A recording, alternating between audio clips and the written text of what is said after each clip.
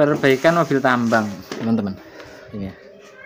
Eh, servis. Ya kondisinya teman-teman. Lumpurnya seperti ini. Di lumpur di mobil ini teman-teman. Backlight. Nah ini seperti itu ya. Jadi lumpur ini kalau sudah numpuk di dalam sini teman-teman. Nah, lumpur ini kan numpuk di dalam sini efeknya drip sap gitu ya drip sap. Bootnya sobek kemudian aktuator 4 WD ini teman-teman. Eh, lumpur masalah. Nanti kalau sampai depan sini lama-lama radiator. Sana ada juga drip sap. Sini ada boot power steering. Sana ada power steering juga.